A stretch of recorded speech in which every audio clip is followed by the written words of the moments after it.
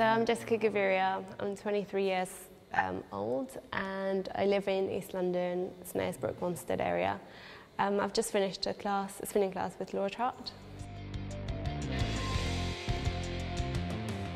The spinning class was really enjoyable. Um, it's great to have Laura Trott right in front of you so you can keep motivated. She also went around and sort of fiddled with things and made you work a little bit harder.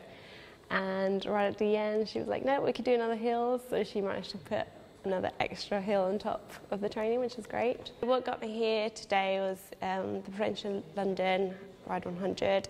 There's a, a newsletter, e-newsletter, so I get that and it was advertised there. Um, so it just asked us to email in your top tip for battling hills or um, get, get you going. And yeah, so my top tip was as simple as it sounds, just to breathe.